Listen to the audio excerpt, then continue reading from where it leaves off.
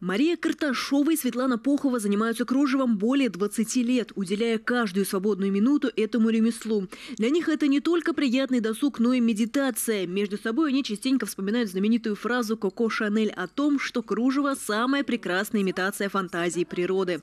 Изделие балахнинских мастериц дарит такую же эстетическую ценность, как и сто лет назад. Вы знаете, даже вот мелкое кружево, вот мы буквально сегодня с Светланой Валерьевной рассматривали очень маленькие элементы кружев, которые вот ну, предназначались для того, чтобы их вшить, например, в наволочку или еще во что-то такое вот бытовое.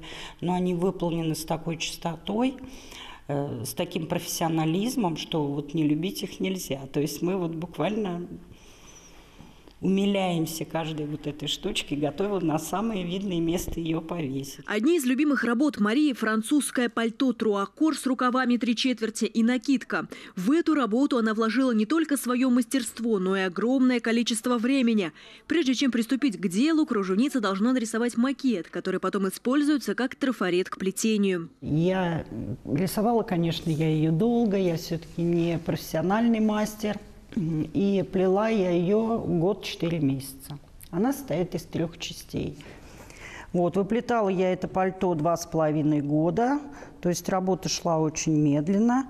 Выплетены обе были работы из натуральных шелковых ниток. Платки, косынки, шарфы, платья. В семьях такие кружевные изделия переходят из поколения в поколение. Ну а здесь они как музейный экспонат. А вот чтобы плетение было плотным, нитки нужно подтягивать. Коклюшки, козла, нитки и иголки – это необходимый инвентарь кудесниц. Однако время выполнения зависит от умелости и количества тех самых коклюшек. А сейчас мы можем э, держать, ну, 3-4 пары свободно можем в руке держать и переплетать их, да, то есть мы переплетем, это для нас уже как мелодии просто звучит, нам это приятно и даже хорошо, что их несколько пар в руках. В нашей работе самое главное вдохновение, наверное, да, то есть если вдохновение есть, плестись будет легко и ну, с удовольствием, что ли, да, поскольку нашу работу мы выплетаем не один день, не одну неделю, а иногда годами, поэтому это, в общем-то, как бы нам доставляет удовольствие, когда мы увидим конечный результат. В Балахне своя техника плетения, многопарная с определенным набором сеток, рисунков и своих декоративных украшений.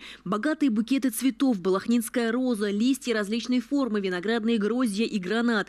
Из-под пера сотрудниц музея вышла не одна книга об этом красивом и древнем ремесле.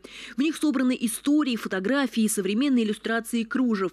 Также совсем недавно балахнинское кружево заинтересовало редакцию всемирно известного издательства «Вог», которые сделали статью, заострив внимание на том, что балахнинское кружево актуально во все времена. Возможно, это придаст новый виток популярности замысловатых и красивых балахнинских узоров.